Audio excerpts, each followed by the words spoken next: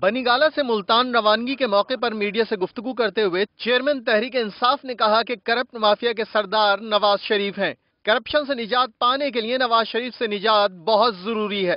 لوگ اب سمجھ گئے ہیں کہ اگر یہ کرپٹ مافیا جس کے سردار نواز شریف ہیں، اگر یہ اس ملک کے اوپر حکومت کرتے رہے، تو یہ ملک قرضوں میں ڈوبتا جائے گا۔ سارا بوجھ قرضوں کی قیمت ادا کرنے پہ عوام پہ گرے گا، مہنگائی کی وجہ سے؟ عمران خان نے کہا کہ جمہوریت میں وزیر اعظم عوام کو جواب دہ ہوتا ہے آزاد اور سوشل میڈیا کے باعث لوگوں میں شعور آ چکا ہے۔ اگر نواز شریف نے کرپشن نہیں کی تو وہ تلاشی دینے سے کیوں ڈرتے ہیں؟ نواز شریف کی کا ہم نے احتساب کرنا ہے۔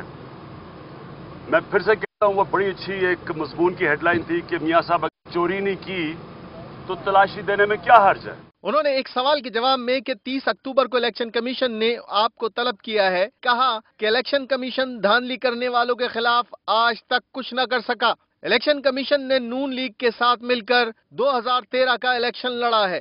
چالیس فائنڈنگز ہیں جوڈیشل کمیشن کی الیکشن کمیشن کے اوپر۔ ڈھائی کروڑ بیلٹ مسنگ تھی۔ ایک آدمی کو سزا نہیں دی۔